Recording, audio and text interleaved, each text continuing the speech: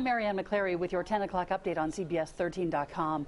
A judge is expected to decide this afternoon whether to release some of the documents in the East Area rapist case. At issue are about 70 pages, including warrants that the media hopes to see that could reveal what was taken from suspect Joseph DeAngelo's Citrus Heights home.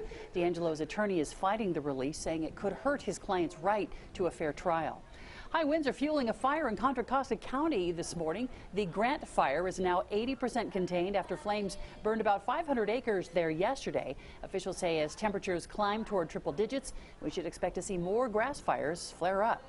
And Sacramento city leaders break ground today on a new science center. Crews will renovate a vacant 100-year-old PG&E power plant on the Sacramento River and transform it into the 22,000 square foot Powerhouse Science Center.